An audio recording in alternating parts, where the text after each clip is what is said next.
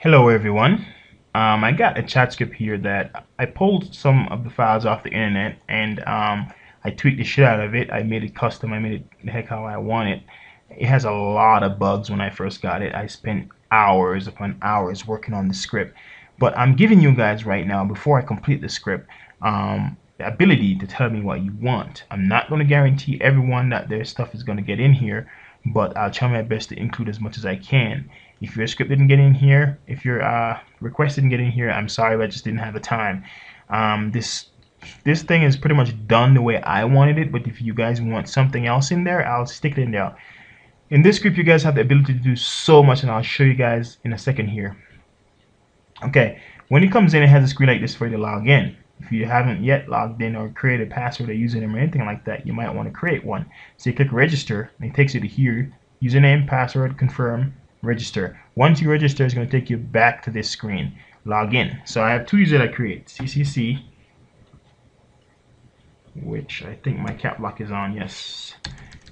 So CCC, and let's log him in, and KKK. KKK might sound a bit racist, I know, but um, I wasn't thinking about that when I do it. So I'm just going to select, you can select different fonts.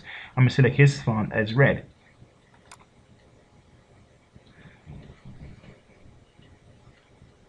There we go. Now two users are logged in and shows you who's logged in over here. It says you have KKK and CCC. But KKK is this person and it shows you who you are here.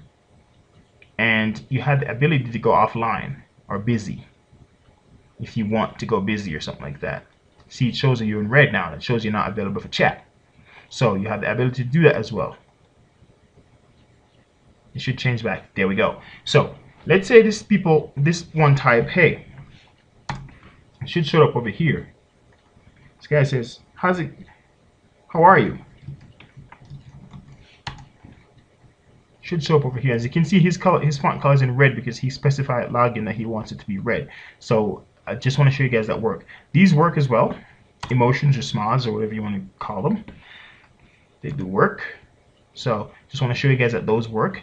And you guys will also, let's say these two in a chat room, let's say there's a hundred people here chatting, but these two were like answering each other's messages back and forth and feel okay, we should we should have a private chat or something like that. So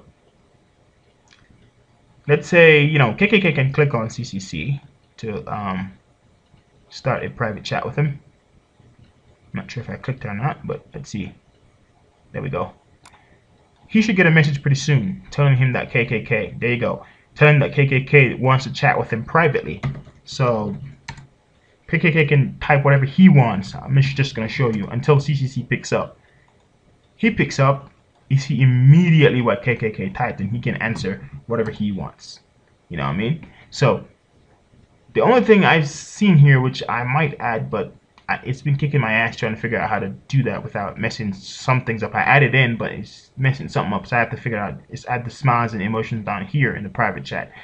Um, I will definitely figure out a way how to do that. But anyway, and let's say these two got in a heated argument. You never know. This is the United States. People sue for shit, even though it's very hard to tell who is who and where they are. But sometimes people will go the extra mile to find you. And if they do find you and say, okay, you said this or you said that, you know you didn't say it, you have the ability to print. So you can hit your print button in your chat room and you can print all the chat that you had with this guy here. So, and this only happened in the private chat room.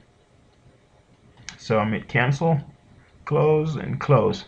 Okay, you also have the ability to clear. Let's say you have a whole bunch of shit in here and you don't know, you know, you get confused and you just want to start, start over. You'll still be able to see what users type. You can just clear out everything that's in the window and start, and it will start show you what users are typing afresh. Let's say you want to go back to see, okay, what did this guy say to me again?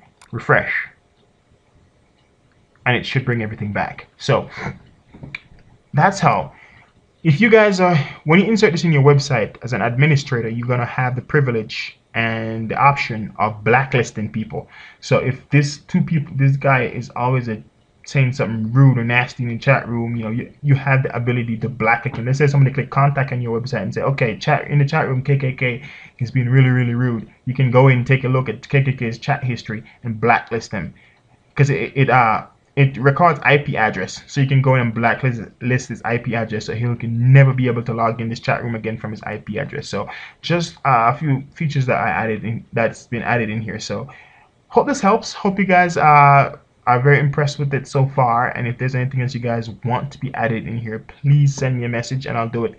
I'm gonna close this script off in another week or so and I won't update it anymore. So another, another cool thing I want to say before I go, when you upload this to your server, you get all the files that works, everything. You're gonna get my my logo. You can just add your own logo. You know, I mean, you can get my logo in there, but you can add your own. You feel free to change it around however you want.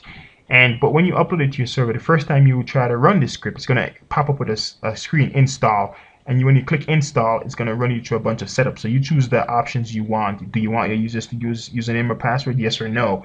Uh, do you want to um, optimize this for iphone? Yes or no. You know you have a couple options that you got to choose when you um, install. Once you install it you're gonna have to set some permissions but when I upload the script I'll explain all that. So again send me messages of what you guys want to see in here and I'll try my best to do it. So thanks for watching. Hope this helps. See you guys later